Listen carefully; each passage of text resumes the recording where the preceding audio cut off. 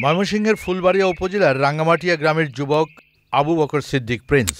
ব্যবস্থাপনায় মাস্টার্স শেষ করার পর আবারও এমবিএ করেছেন কৃষি বিপণন বিষয়ে। তারপর নেমেছেন স্বপ্ন পূরণের অভিযানে। নবিঘা সমন্বিত খামার দিয়ে শুরু কয়েক বছরে তার আয়তন দাঁড়িয়েছে বিশ বিঘায়।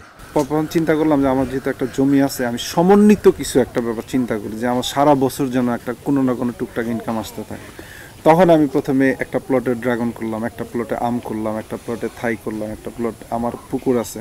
পরে আমি করি যে মাছের খাদ্যটা আমার না দিতে হয় তখনই আমি হাঁসের চিন্তাটা মাথায় আনলাম। গড়েছেন ড্রাগন ফলের বিশাল বাগান। এর মধ্য দিয়ে এসে গেছে অনেকটা স্বপ্ন পূরণের উচ্ছ্বাস। টোটাল আপনার ড্রাগন ফ্রুটসের গাছ। এখন আমার বত্রিশশো টোটাল গাছ। প্রথম বছরে আমি সর্বোচ্চ আমি একটা গাছে প্রায় পঁচিশটার মতো ফল আমি হারভেস্ট করতে পারছি। আচ্ছা।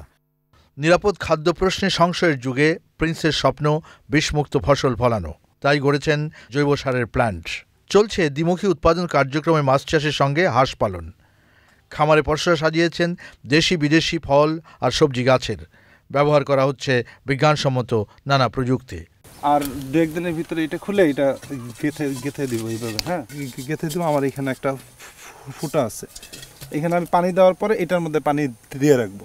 ওর যখন পানি দরকার হবে ও এখান থেকে চুষে পানি প্রিন্স এখন স্বপ্ন ছড়াচ্ছেন এলাকার অন্যদের মাঝে। যখন আমরা ছোট ছিলাম তখন আবাদ হতো আউশ ধান আর এবং সরিষা। তারপরে যখন একটু বুঝমন হয়েছে তখন থেকে নতুন একটা পদ্ধতি আসলো এই যে আনারস।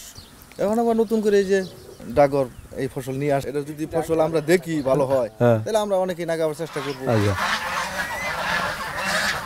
উচ্চমূল্যের ফল ফসল নিয়ে কৃষির সৃজনশীল উদ্যোগ এগুলো, যা আপনাকে ধীরে ধীরে লাভের এবং সমৃদ্ধির দিকে নিয়ে যেতে পারে। আমাদের দেশের উচ্চাকাঙ্ক্ষী শিক্ষিত তরুণরা এই উদ্যোগগুলোর সাথে সম্পৃক্ত হয়ে কৃষিতে নূতন একটা প্রাণ সঞ্চার করতে যাচ্ছে। এই খামারটি দেখে সেটাই মনে হয়। ময়মনসিংহের ফুলবাড়িয়ার রাঙামাটিয়া গ্রামের প্রিন্সের সমন্বিত কৃষি খামার থেকে শাইক সিরাজ চ্যানেল আই।